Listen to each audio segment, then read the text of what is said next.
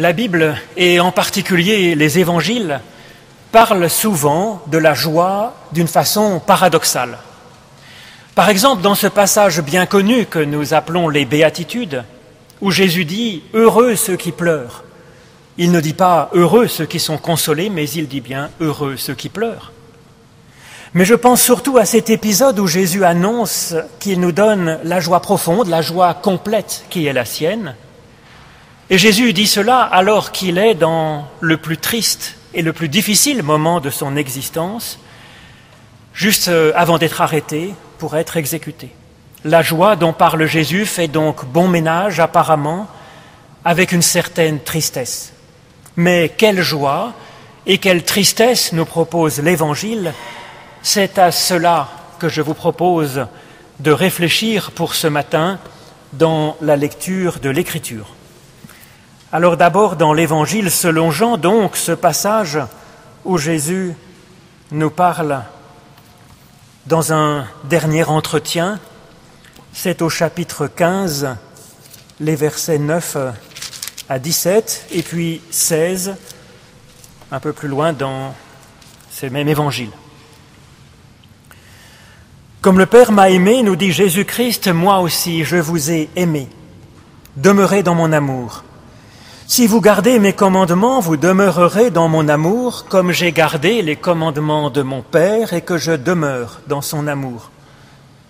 Je vous ai parlé ainsi afin que ma joie soit en vous et que votre joie soit complète. Voici mon commandement, aimez-vous les uns les autres comme je vous ai aimé. Il n'y a pour personne de plus grand amour que de donner sa vie pour ce qu'on aime. Et vous êtes mes amis si vous faites ce que je vous dis. Je ne vous appelle plus seulement serviteur parce que le serviteur ne sait pas ce que fait son maître, mais je vous appelle ami parce que tout ce que j'ai appris de mon Père, je vous l'ai fait connaître.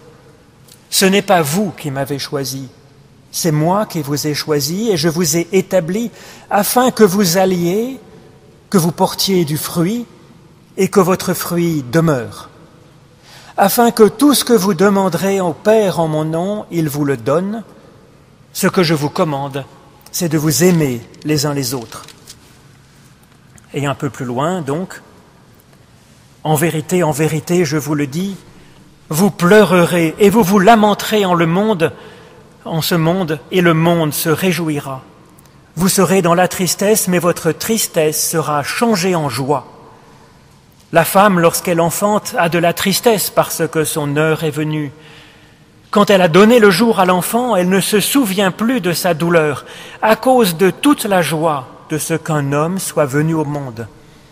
Vous donc, aussi, vous avez maintenant de la tristesse, mais je vous verrai de nouveau, et alors votre cœur se réjouira, et nul ne vous ôtera cette joie.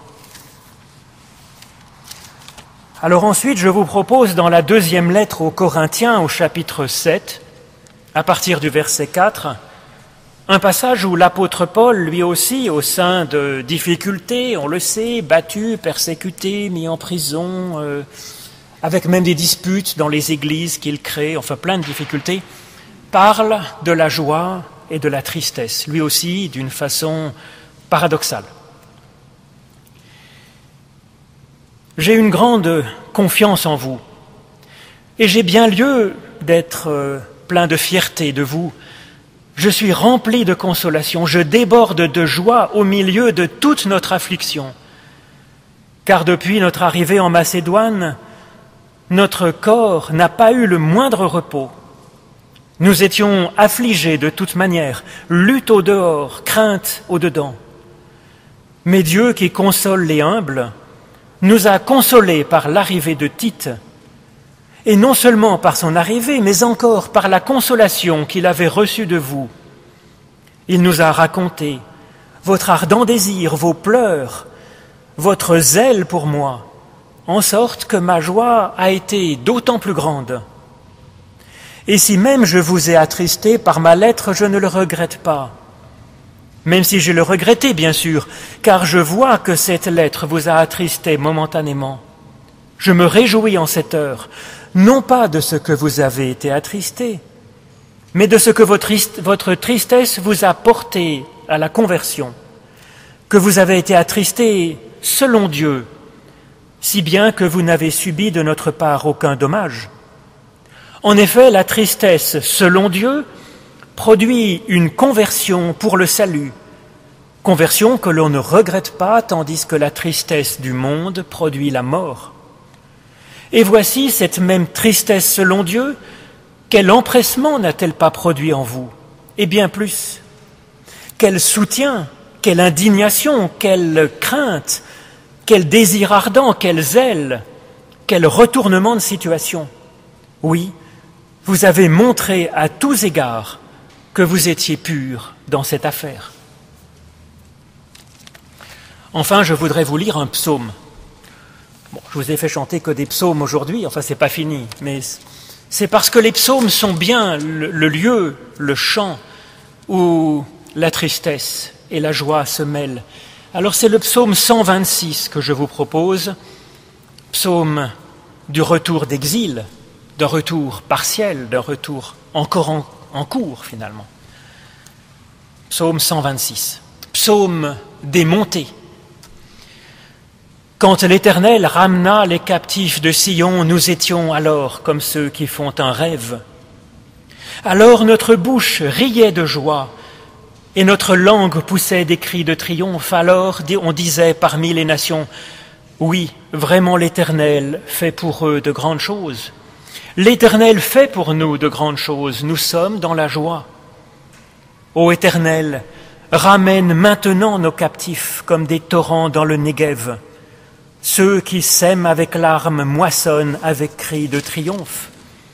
Celui qui s'en va en pleurant quand il porte la semence à répandre s'en revient déjà avec cris de triomphe. Il porte des gerbes. Ô Éternel, ta parole est une lampe à mes pieds, une lumière sur le sentier de toute ma vie. La Bible parle souvent de la joie, c'est sans doute un des projets de Dieu, de toutes sortes de joies en fait. Il y a des joies spirituelles, bien entendu, mais pas seulement. Il y a une quantité de bonnes joies dans cette vie, dans cette existence. Alors parfois c'est au sens figuré que la Bible nous parle de la joie, par exemple la libération hors de l'esclavage en Égypte, la joie du retour des exilés qui étaient partis à Babylone, peuvent évoquer pour nous la joie de la libération de nos situations de détresse, physique, morale, relationnelle, spirituelle. Les chants de victoire peuvent être relus comme la joie d'avoir pu avancer d'un pas, d'avoir triomphé de négativité dans notre existence ou dans les événements de notre vie, d'avoir peut-être repris un peu de force ou d'avoir amélioré la situation d'une certaine façon ou d'avoir progressé un peu. Il y a de vraies bonnes occasions de joie, oui, dans les progrès que nous pouvons faire, dans les progrès que peuvent faire nos proches. Et il y a une plus grande joie encore quand nous avons pu participer d'une façon ou d'une autre, ne serait-ce qu'un peu, à un progrès dans l'univers. Nous avons alors été un peu comme un ange qui, qui vient porter quelque chose de cette bonne dynamique qu'est Dieu. Alors il y a aussi dans les psaumes, bien souvent, et dans d'autres passages, la joie due à la simple présence de Dieu à nos côtés même, quand ce n'est pas pour venir nous sortir d'un mauvais pas, même en dehors de tout progrès, c'est juste la joie de le sentir là, de se sentir connu et pourtant accepté, aimé, accompagné. Nous ne sommes pas seuls, et c'est une joie profonde, c'est une expérience fondatrice pour celui, pour celle qui a la chance de faire cette expérience, de sentir cette joie-là. Alors il y a aussi les joies de l'existence terrestre, ces joies si petites que je serais presque tenté de les appeler des plaisirs. Mais la Bible n'est pas du genre à les mépriser, ces plaisirs, et donc peut-être faut-il continuer à les appeler des joies, car ce sont des petites joies, certes, mais ce sont des joies légitimes aussi, et les petites comme les grandes joies sont des bénédictions de Dieu. Et donc même si j'en avais eu envie, je ne vous ferai pas le coup de vous dire maintenant, Réjouissez-vous dans le Seigneur, réjouissez-vous dans le Seigneur seulement, dans la vie spirituelle. Détournez-vous des joies de ce monde, dépréoccupez-vous de ce monde. Non. Le Dieu de la Bible aime la vie, il aime la vie en ce monde. Et les joies, même les joies simples de l'existence, peuvent être accueillies comme des bénédictions qui viennent de Dieu, bien sûr, comme toute bénédiction. Elles doivent donc même être accueillies. Elles doivent être accueillies, car ce n'est pas digne de jeter à la tête, à la tête de quelqu'un qui nous aime le cadeau qu'il veut nous faire. Alors dans l'Évangile, la joie a peut-être encore plus de place que dans la Bible hébraïque, non pas en quantité, comme si à chaque verset on parlait de la joie, mais en, en qualité finalement. C'est-à-dire que le mot joie n'est pas là si fréquemment dans l'Évangile, mais on retrouve le terme de joie comme un marqueur finalement dans les moments clés, dans les moments décisifs de l'Évangile. Par exemple, chaque fois que la vie de Jésus marque un point important, un pas important, il y a de la joie qui est là, comme pour marquer dans notre existence propre les moments décisifs où le Christ porte son salut. Les bergers qui accueillent la naissance de Jésus, à Pâques, à l'Ascension, quand les disciples découvrent la présence du Christ autrement dans leur vie. Il y a aussi la joie des disciples à la Pentecôte quand l'Esprit Saint les fera membres d'un seul corps, le corps dont le Christ est la tête. Toujours, cette joie des disciples met en valeur un point clé de l'évangile de Jésus-Christ, du salut que Dieu nous donne en Jésus-Christ. Et dans la bouche de, Jésus, dans ses discours, la joie aussi met en valeur les moments clés de son évangile, les moments décisifs finalement de son discours, qui rompent peut-être avec une autre théologie, une autre éthique, une autre façon d'être. Les premières paroles qu'il donne dans l'évangile selon Matthieu, c'est les béatitudes, finalement huit promesses de bonheur. Il parle de la joie dans le ciel pour un seul pécheur qui progresse un peu, qui se convertit dans cette fondamentale, essentielle parabole de la brebis perdue, du fils perdu et retrouvé, ou de la valeur profonde perdue dans notre vie. Et dans ces dernières paroles que je vous ai lues juste avant d'être arrêté, Jésus condense tout son évangile dans quelques paroles pour ses disciples qui ont de la peine à comprendre de quoi il parle. Et Jésus parle alors de la joie parfaite, de la joie complète qui est la sienne et qu'il nous donne. Cela fait que pratiquement la joie a plus d'importance dans les évangiles que la vie éternelle elle-même. Il est donc juste que l'apôtre Paul nous recommande de nous réjouir sans cesse. Soyez toujours joyeux, nous dit Paul. Et pourtant, pourtant, sommes-nous vraiment joyeux? Oui, oui et non évidemment.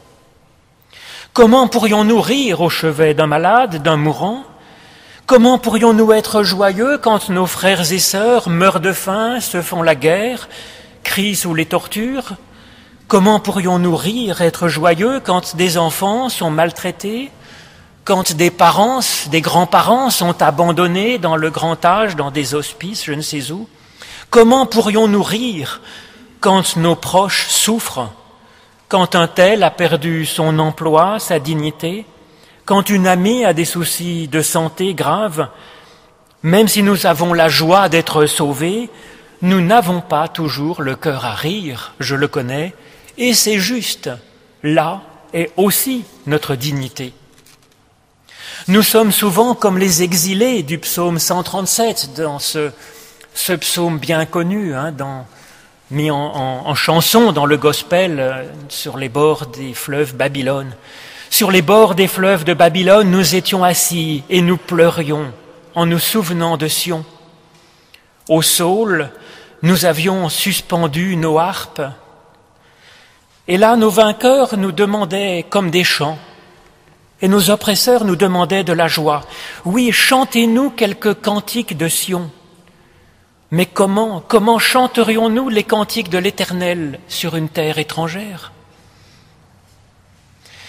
Alors il paraît que Nietzsche, bon, voudrait demander à Philippe si c'est vrai, reprochait aux chrétiens de ne pas avoir des têtes de gens sauvés, mais plutôt des têtes de gens, de, personnes qui sont euh, à un enterrement. C'est vrai, Philippe? Je ne sais pas. En tout cas, ce reproche est cruel et injuste. Moi, ce reproche, je l'ai entendu dans l'Église avec euh, des pasteurs qui nous disaient Mais vous êtes à la Sainte Seine, il faut avoir l'air joyeux. Ben, on fait ce qu'on peut, si vous voulez. Je ne suis pas sûr si nous ressemblions à des gens qui éclatent de joie, qui dansent la farandole, là oui, on pourrait nous reprocher des choses graves, de nous moquer de la souffrance du monde, de vivre dans une bulle de confort spirituel, dans un paradis artificiel, qui nous, qui nous aveuglerait de nos propres tourpitudes, qui nous ferait ne pas voir les misères de ce monde, les misères de nos frères et sœurs à nos côtés frères et sœurs qui nous sont confiés. Et donc ce n'est pas de cette joie-là que parle l'Évangile, bien entendu. Ce n'est pas un étourdissement, ce n'est pas une distraction. Et Jésus, quand il, est en train, il est en train d'essayer de transmettre au monde son Évangile, quand il essaye de le dire et de le montrer à des apôtres qu'il a choisis entre tous et qui pourtant ne comprennent pas grand-chose, Jésus n'a pas le cœur tellement à rigoler. Je voudrais donc, dans un certain sens, parler de la joie dont parle Jésus ici, mais en même temps faire l'éloge de la tristesse et d'une certaine gravité. Dans la gravité, dans le sérieux, il y a du respect. Du respect pour la vie, pour cette incroyable profondeur de l'existence humaine. Dans cette tristesse, il y a une espérance pour le monde au-delà de l'injustice, au-delà des souffrances de ce monde. Oui, il y a une tristesse féconde. Le projet de l'Évangile, c'est de vivre en vérité. C'est de vivre la vie avec sincérité, de la vivre debout, de la vivre les yeux ouverts, le cœur ouvert, l'intelligence ouverte. Et ce chemin ne fait pas l'économie des émotions, bien sûr. Comme Jésus de Nazareth le fait, ce chemin passe par le jardin de Gethsémané, il passe à travers la souffrance de voir ceux que nous aimons et qui nous aiment nous trahir, nous abandonner. Il passe par la souffrance de ceux que l'on croise, il passe par les malades dans leur corps ou d'une autre façon. Jésus vit avec émotion, finalement, ces moments, même sur la croix, dans le sentiment que Dieu l'a abandonné lui aussi. J'oserais donc faire une éloge, un éloge plutôt, de la tristesse. Mais pas de n'importe quelle tristesse. L'apôtre Paul, dans sa lettre aux Corinthiens, n'oppose pas la tristesse et la joie. Il oppose deux sortes de tristesse. La tristesse selon le monde, qui produit la mort, et la tristesse selon Dieu, qui au contraire met en mouvement vers la vie et produit de la vie. La tristesse, selon le monde, c'est le manque de joie. L'objectif de l'homme, souvent, et c'est très légitime, comme finalement comme l'animal, c'est d'être joyeux, c'est d'être heureux, c'est de ne pas avoir de problème. Et cet espoir, bien sûr, est légitime, car nous préférons tous ne pas souffrir, nous préférons tous un bon repas, de la nourriture infecte, nous préférons être en bonne santé, nous préférons être entourés de ceux que nous aimons et les voir eux-mêmes en forme heureux. Nous préférons avoir une foi vivante plutôt qu'être désespérés. Nous préférons avoir une intelligence qui tourne à plein rendement. Il y a donc, oui, une tristesse, il y a même parfois même une détresse dans le manque de joie. Paul le sait bien. Il, est, nous dit-il, affligé de toutes sortes, lutte au dehors, crainte au dedans avec sa maladie aussi, avec les arrestations, les naufrages, les luttes dans les églises qu'il crée même, avec des disputes. Donc oui, il y a de mauvaises tristesses, qui non seulement font mal, mais encore qui font du mal. Une tristesse qui est du désespoir, qui est de l'abattement. Mais Paul nous dit qu'il y a aussi une tristesse selon Dieu, une tristesse qui, au contraire, nous rend plus vivants. Écoutons-le. Cette tristesse, selon Dieu, nous dit Paul, quel empressement n'a-t-elle pas produit en vous? Quel soutien, quelle indignation, quelle implication personnelle, quel désir ardent, quel zèle, quel retournement de situation. Cette tristesse-là, nous dit Paul, on ne la regrette pas, on ne la regrette jamais. car elle est comme un moteur pour notre cheminement, pour avancer. Elle nous fait sentir qu'il y a un progrès à faire et qu'un progrès est non seulement souhaitable, mais qu'il est possible. Elle creuse notre soif de mieux comprendre, de mieux aimer, notre soif de trouver enfin le geste qui fera avancer les choses, la parole qui va sonner juste. Et dans cette foi, il peut y avoir une mobilisation de toutes nos qualités personnelles mais aussi au-delà de cela, car nous sentons bien que ça ne suffira pas à régler tous les problèmes, ça nous mène à une ouverture à Dieu. Il est Dieu, nous dit Paul. Il est consolation pour ceux qui sont abattus. Et cette consolation, elle est intérieure par l'esprit, bien sûr, et Paul en parle souvent. Mais cette consolation n'est pas qu'intérieure, spirituelle, elle passe aussi par un ami, Tite, qui qui va vers Paul et qui lui apporte quelques bonnes nouvelles. Et cette bonne nouvelle, c'est que les Corinthiens, enfin, sont vivants et veulent avancer. Ils veulent avancer, eux aussi, dans les pleurs et dans le zèle. Oui, la tristesse de Paul est convertie en tristesse selon Dieu. Et quel soutien il ressent alors dans ses afflictions et c'est pour lui aussi, dans ses lettres aux Corinthiens, aussi une indignation contre ce qui ne va pas. Ce n'est pas une indignation contre certaines personnes, mais c'est une indignation contre certains comportements, finalement, contre certaines situations intolérables. Et donc une sainte tristesse qui est peut-être une repentance, oui, des regrets, mais surtout une conversion, une réorientation du regard un désir, un espoir d'avancer, une tristesse selon Dieu qui ouvre à un cheminement. L'évangile du Christ nous, nous, ouvre à de surprenants retournements de situation. Et donc nous pouvons, dans un certain sens, oui, nous réconcilier avec notre tristesse.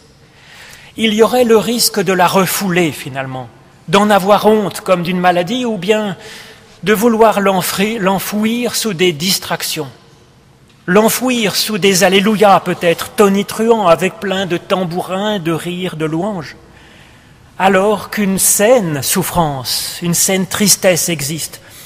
Elle consiste à ressentir en vérité, elle consiste à vivre, vivre la joie bien sûr, mais aussi de vivre la compassion et vivre l'indignation de ce qui ne va pas. Et dans cet élan même, cet élan qui est cheminement, il y a de la joie, car tout cheminement est porteur de joie, par définition finalement.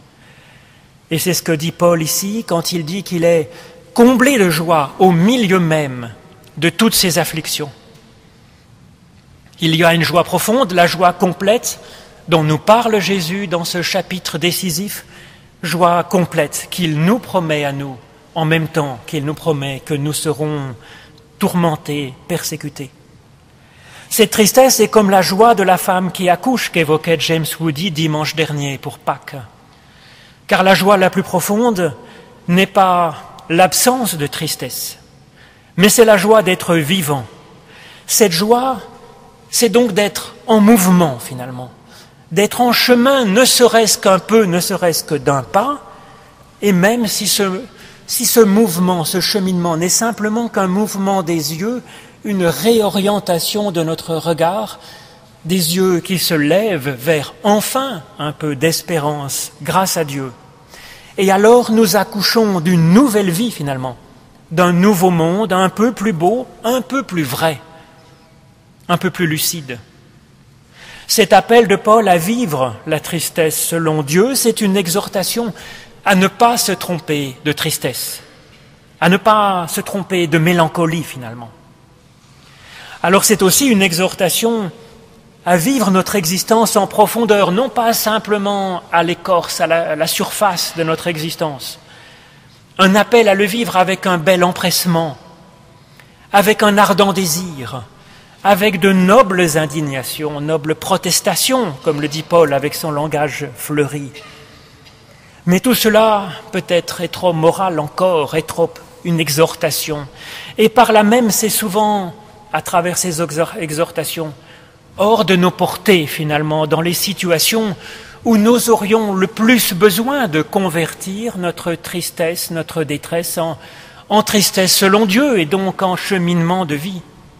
Et donc ce n'est pas simplement une exhortation à, nous prendre en main nous-mêmes et à réorienter notre regard. Vivre la tristesse selon Dieu, c'est un désir d'être engendré par Dieu.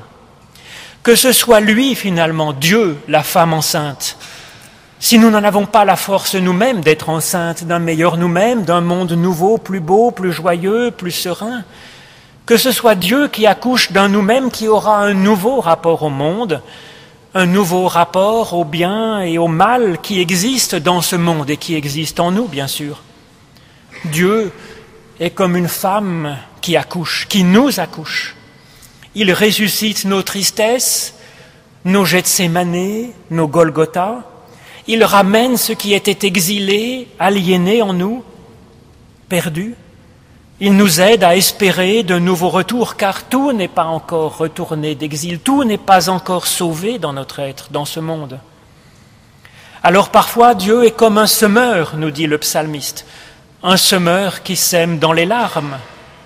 C'est peut-être parce qu'il a su voir des gens qu'il aime et qui crevaient de faim, qui, qu'il sème dans les larmes, dans une espérance. Ou peut-être, peut-être c'est parce que le sac est trop lourd finalement qu'il sème à la fois dans les larmes, mais aussi qu'il sème dans la joie de faire un geste, enfin un geste d'espérance et d'amour. Oui, déjà, il marche dans la joie. Alors Jésus nous promet la joie profonde qui accomplit la tristesse. Et il sait de quoi il parle. L'ouverture qui permet ce retournement de situation, c'est, nous dit-il, de se recentrer sur l'amour dont nous avons été aimés, l'amour dont nous sommes aujourd'hui encore aimés, et l'amour que nous pouvons avoir. Y puiser une espérance possible comme un zèle ardent de vivre et d'avoir, si ce n'est encore un premier geste, au moins une indignation comme le Père m'a aimé, nous dit Jésus-Christ, je vous ai aussi aimé. Aimez-vous les uns les autres, aimez-vous mutuellement, comme je vous ai aimé. Amen.